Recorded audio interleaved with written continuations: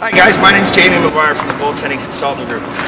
Our tip today is called what I like to call a reverse rotation. There's situations in a game where a goaltender finds himself somewhat out of position.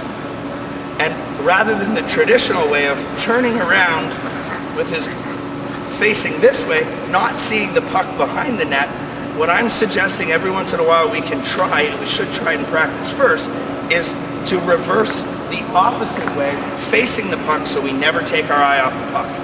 Doesn't always work, but I think you'd be surprised as to how many times you actually already do it in games and didn't even know it. With us today is Gary McDonald, and he's going to be demonstrating that. We're going to simulate a situation where he has made a save, ended up at a position, puck goes behind the net, he'll rotate, end up on the opposite post, pass will come out, he'll T-push out and make the save.